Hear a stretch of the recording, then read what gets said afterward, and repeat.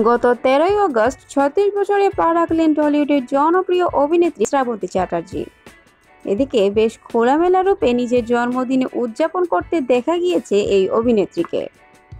বয়স চল্লিশ চুই চুই, তবে এখনও শ্রাবন্তী যেন বিশের তরুণী।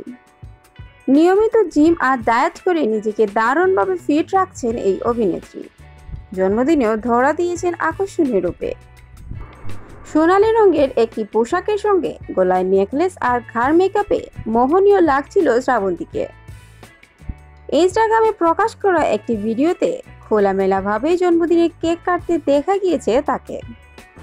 সেই ছবি ও ভিডিও সামাজিক যোগাযোগ মাধ্যমে ছড়িয়ে পড়তেই ভক্ত অনুরাগীদের বিভিন্ন মন্তব্যে ভেসে বেড়াচ্ছে তার কমেন্ট বক্সে কেউ তার রূপের প্রশংসা করছে, তো কেউ সাহসী নায়িকার অবতারের কটাক্ষ করছে।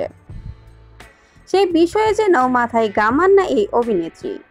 নিয়মিতই নতুন নতুন পোশাক ও ব্যক্তিগত জীবনে ঘটনা নিয়ে ভক্তদের সামনে হাজির হন এই অভিনেত্রী।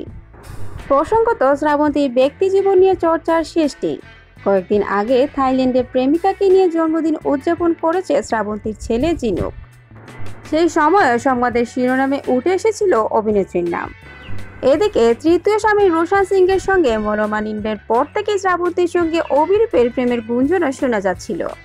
যদিও এই নায়িকা এই বিষয়ে কখনো স্পষ্ট করে কিছু বলতে চাননি।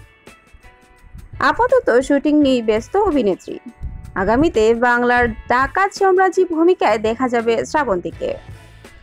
যেখানে ভবানী পাঠকের চরিত্রে থাকছে প্রসেনজিৎ চট্টোপাধ্যায়। অগাস্ট মাসেই শুভ্রজিৎ মিত্র পরিচালিত দেবী চৌধুরানীর শুটিংয়ের শুরু হওয়ার কথা রয়েছে।